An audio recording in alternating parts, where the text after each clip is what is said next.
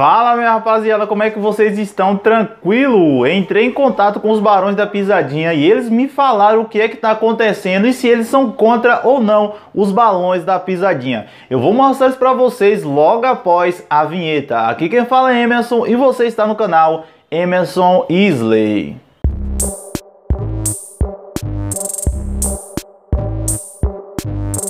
Pois é, minha rapaziada, essa treta aí parece que dessa vez vai chegar ao fim. Eu acho que só resta aí é os balões da pisadinha aceitar ou os barões da pisadinha tentar entrar em acordo com eles. É que eu entrei em contato com o tecladista dos barões da pisadinha e ele me falou o que é que está acontecendo e se ele é contra ou não aos balões da pisadinha. Mas eu vou explicar para vocês logo essa treta do início, que é para vocês entender. Eu sei que algum de vocês já sabe qual é o início e o fim da treta até agora, mas tem outras pessoas que não conhecem, então eu vou explicar para vocês. Então, gente, o que está acontecendo é que o vocalista dos balões da pisadinha resolveu expor uma série de conversas em seu Facebook falando que tinha alguém ligado aos barões da pisadinha que estava ameaçando eles e falando que ia queimar o ônibus e tentando atrapalhar alguns shows dele e emitindo notas falsas falando que os balões da pisadinha tinha acabado e assim estava falando que a banda Os Balões da Pisadinha era falso.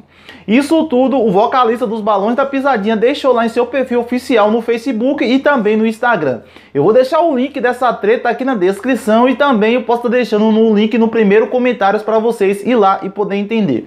Eu também ontem deixei um vídeo explicando isso tudo aqui no canal. Se você não viu, é só pesquisar aqui no canal que você vai entender tudo. Aí eu também em contato com os Balões da Pisadinha e eles me afirmaram a mesma coisa que tinha alguém ligado aos Barões da Pisadinha que estava falando que eles eram banda falsa e que estava tentando atrapalhar os shows dele em geral. Essa treta gerou, gerou, gerou. Como eu falei para vocês, entrei em contato com os balões da pisadinha, eles me explicaram a parte dele.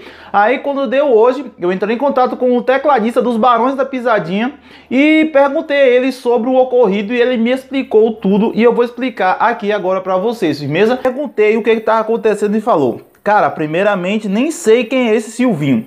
Silvinho, gente, era o cara que os balões da pisadinha estavam acusando, falando que esse tal de Silvinho era ligado com os barões da pisadinha que estava tentando acabar ele. Então ele falou: Cara, primeiramente, nem sei quem é esse Silvinho.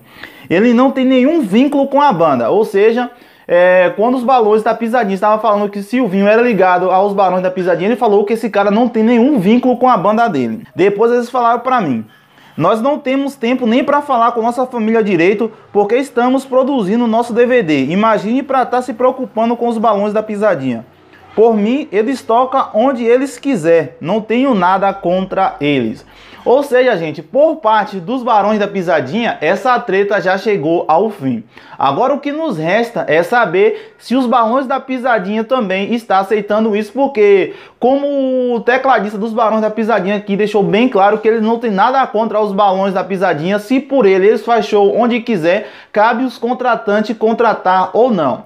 Então, gente, foi isso aí que aconteceu. Eu espero que vocês tenham tirado suas conclusões e comente aqui embaixo. Lembrando a todos vocês que eu gostaria de deixar bem claro aqui que eu não tenho nada contra os balões da pisadinha, muito menos aos barões da pisadinha. Esse canal é um canal que deixa você informado. E se você quiser estar informado de tudo que acontece no mundo da música, do arrocha, da rochadeira, algumas notícias de forró, como eu trouxe hoje, que é do piseiro, é só se inscrever e ativar notificações, porque aqui você vai ficar sabendo de tudo. Eu tô cobrindo esse caso aí dos barões da pisadinha, desde que a polêmica surgiu, eu tô aqui informando vocês. Então, se você gostou desse vídeo, é só deixar o like e se inscrever no canal. Caso os balões da pisadinha queiram falar mais alguma coisa, eu vou trazer aqui pro canal, porque assim, cara, é, querendo ou não, quem fica triste com isso e quem perde são nos nós sons, porque são duas super bandas e essa treta assim, eu acho que não tem precisão disso começar e eu acho que já praticamente já acabou, como os balões da pisadinha aqui falou, que eles não tem nada contra os balões da pisadinha, se por eles, eles faz show onde quiser.